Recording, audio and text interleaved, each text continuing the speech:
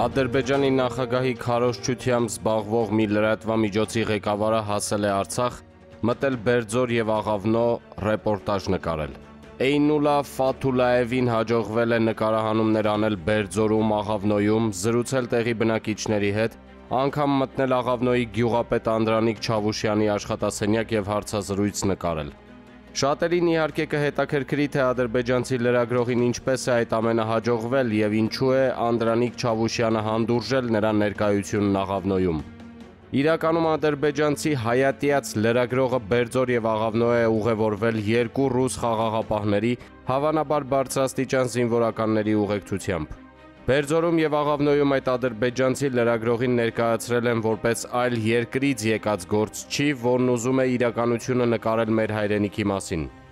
Բնական է, որ արտասահմանցի լրագրողին, ով եկել է ռուս խաղաղապահների ուղեկցությամբ, որևէ մեկը չէր կասկածի։ Այստեղ է, որ պաշտոնական Ստեփանակերտը եւ նաեւ պաշտոնական Երևանը պետք է բացատրություն պահանջեն ռուսական կողմից թե ինչու է ադրբեջանցին ռուսների ուղեկցությամբ եւ այն էլ խափեությամբ հայտնվել Արցախի հայաբնակ տարածքում։ Ռուսները գոնե գիտեն, որ ադրբեջանական այդ լրատվամիջոցն ու լրագրողը գիշեր-ցերեկ զբաղված են հակառուսական քարոշչությամբ եւ ռուսների նկատմամբ պատելության տարածմամբ։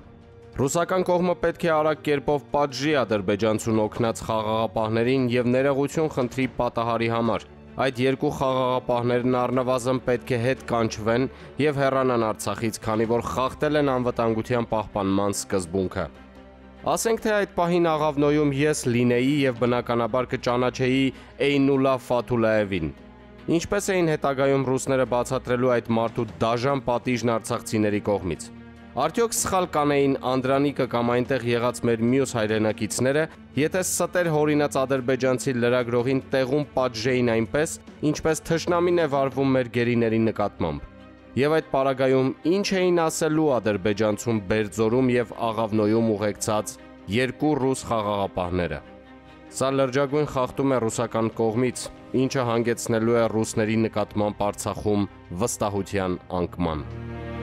Ռուսաստանի Դաշնության պաշտոնյայի կողմից հայտարարված միտքը, թե ռուս խաղաղապահները դուրս կգան Բերձորից միայն այն դեպքում, երբ պատրաստ լինի նոր միջանցքը, հստակ է եւ թյուրիմացության տեղիք չի տալիս։ Բացատրեմ թե ինչու։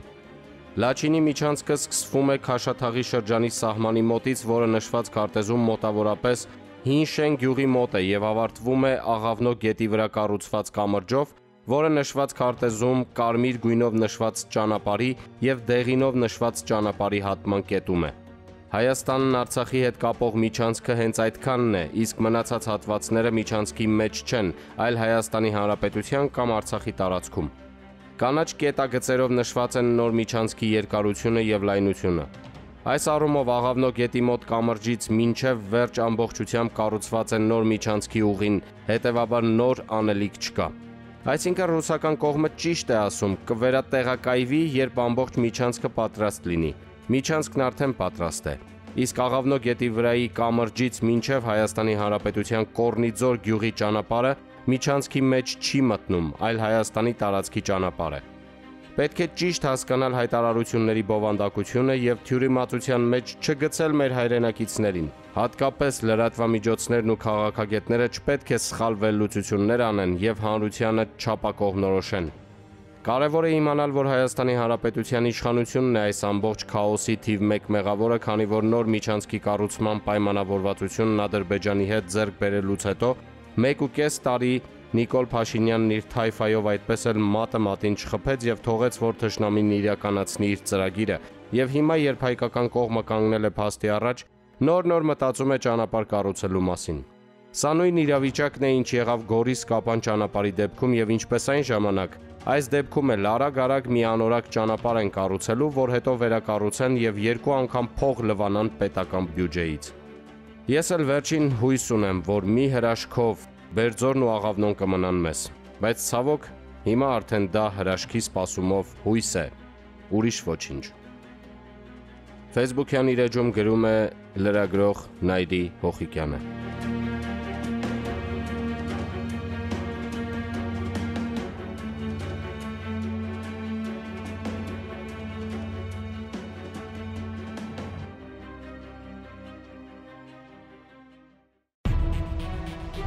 Ժամանակը մեր, ոչ թե ռուս-թուրքական տանդեմի օկտին է։ Ռուսաստանի Դաշնությունը պարտվում է եւ իմ կարծիքով այդ պատճառով է Ադրբեջանը ջանում արագացնել նոեմբերի 9-ի գործընթացը։ Միայն այն, որ Ալիևն ասում է, իբր հայերը ձգում են, որ ժամանակ շահեն, իսկ ժամանակը Հայաստանին ոչինչ չի տա եւ Ադրբեջանին է օգուտ, ի ցույց է դնում նրա իսկական վախերը։ Եթե տարի ու կես այս թե այն կողմը նշանակություն չունի, փաստաթղթում էլ կոնկրետ ժամկետը նշված չէ։ Ինչ իմաստ ունի ռուսների հետ նույնանալու եւ պայմանավորվածություն ունենալու հիմնավորումներ տալ աշխարհին։ Առավել եւս, եթե իրոք ժամանակը Ադրբեջանի օկտին է աշխատում։ Վստահաբար Ալիևը կանխատեսում է Ռուսաստանի ազդեցության թուլացումը միջազգային ասպարեզում եւ արագ ուզում է փոկել մինչ այդ ունեցած պայմանավորվածության մաքսիմումը։ Հայաստանի Հանրապետությունը ցավոք այդ մոտեցմանը հակադրվելու գործուն ներուժ այս պահին չունի։ Բայց դա չի նշանակում, որ հետո էլ չի ունենա։ Համոզված եմ, որ ռուս-թուրքական սեպարատ խաղը շատ թանկ է նստելու եւ առաջին հերթին Ադրբեջանի եւ Ալիևի վրա։ Խնդիրը միայն ժամանակինն է։ Կարևորը ոչ հեռու ժամանակին է։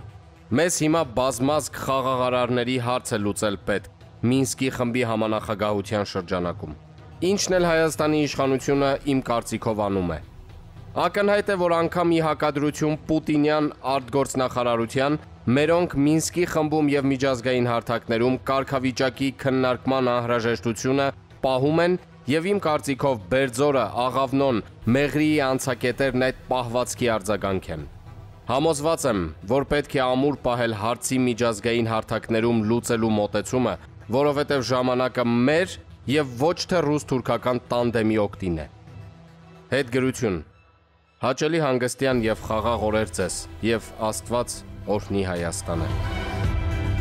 Գրում է Հանրապետություն կուսակցության նախագահ Արամ Սարգսյանը։